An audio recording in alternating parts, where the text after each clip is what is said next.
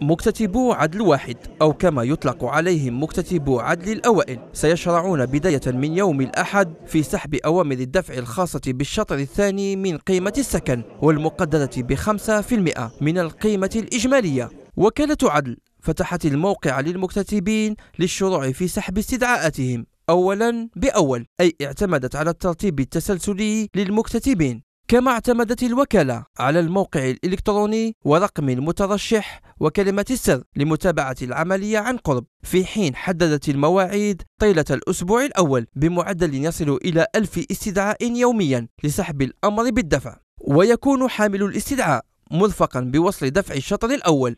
المسلم من قبل البنك إضافة إلى شهادة عائلية للمتزوجين وشهادة ميلاد رقم 12 للمعني والزوجة وبطاقة شخصية إن كان الشخص أعزب.